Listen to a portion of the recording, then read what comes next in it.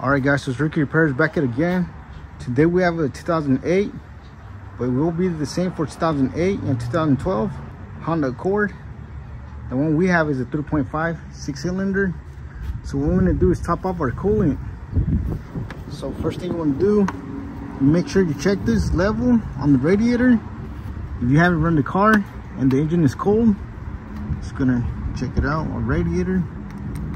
See the cap that one is full Oh, as you can see, our reservoir is low. Can't we see the coolant right there? Which is minimum right down there. It's way down there. So what we're gonna do is top it off. So we could have it in between the minimum and max right here. So it could be at least right here. All right, so to top it off, just gotta remove this little cap right here.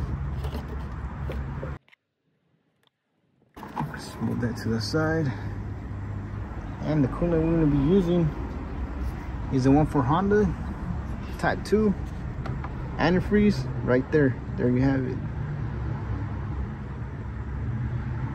All right so no need to add water to it. All right let's go and top it off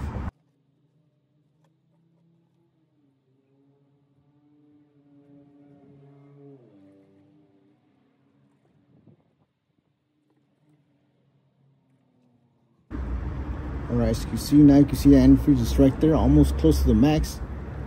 I'm just gonna put that back in.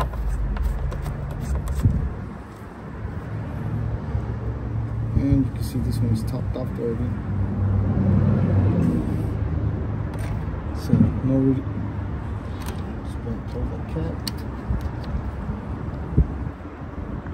all right so that's how you top off your coolant and your antifreeze on your radiator and your reservoir so there you have it. So that's it for today. Thank you for watching. If you found this video helpful please don't forget to like share and subscribe if you haven't already.